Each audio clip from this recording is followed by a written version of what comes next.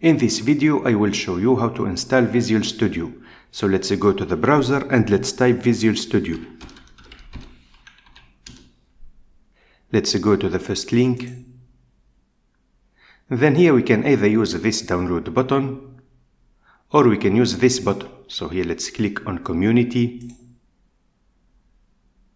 and let's save the installer. So I will save it on the desktop.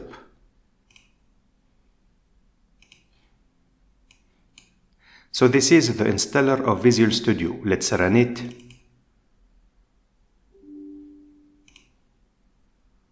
Then here let's click on continue. So because I already installed Visual Studio, I have this window. But if this is the first time you install Visual Studio, then you should obtain the window that we obtain when we click on Modify. So you should obtain this window. So in this window, we need to select the options that we need.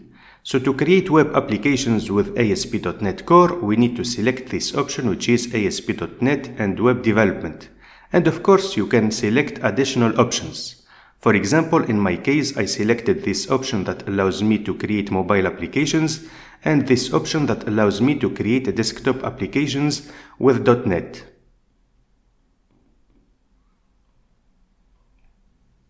Then we can select install while downloading, then we can click on modify.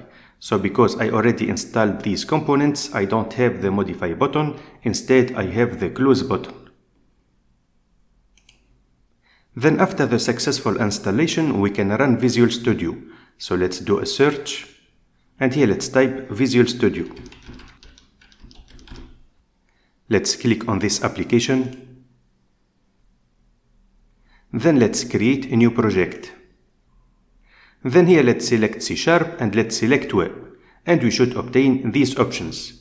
So to create a web application with ASP.NET Core, we can select this option, which is ASP.NET Core Web Application with Razor Pages, or we can select this one to create a web API. And also we can select this option, ASP.NET Core Web Application with MVC.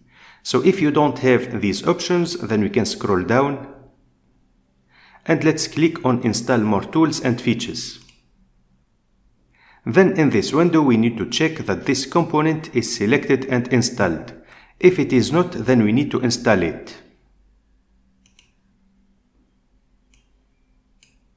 Now let's select ASP.NET Core Web Application with Razor Pages, then Next, and let's call this project Web Application 2 for example.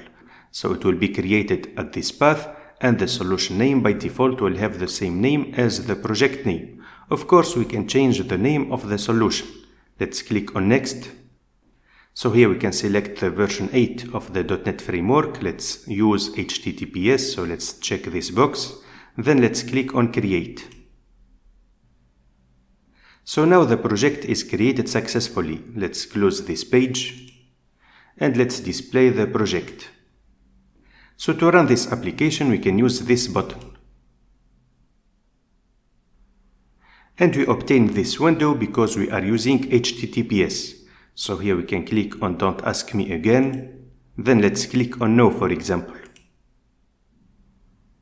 So we obtain this alert because the certificate that is used by the HTTPS protocol is not recognized by the browser. So we can click on advanced, then accept the risk and continue. So we obtain this application. Now to close the solution, we can click on File, then Close Solution.